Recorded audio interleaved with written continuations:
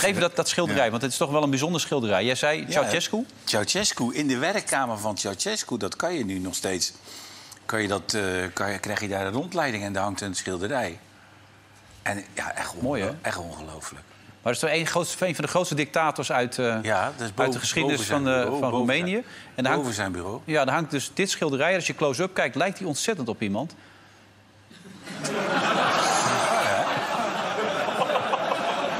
Bizar, hè? Ja, het is echt niet te geloven, dit.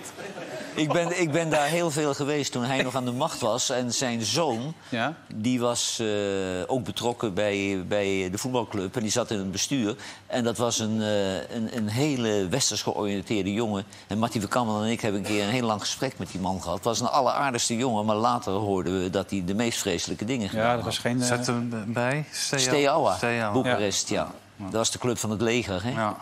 Maar je hebt een onuitwisbare indruk gemaakt als ik dit zo zie op die jongen. Nou ja, maar Ja. ik ben daar natuurlijk regelmatig op het paleis geweest. En dan, eh, dan eh, maken ze van die gelegenheid gebruik door, eh, ja, door je te vereeuwigen. Hè? Ja, dat snap ik ook. We hebben een app. Dat mag u niet missen, hè? Download hem nu voor leuke video's en het allerlaatste voetbalnieuws.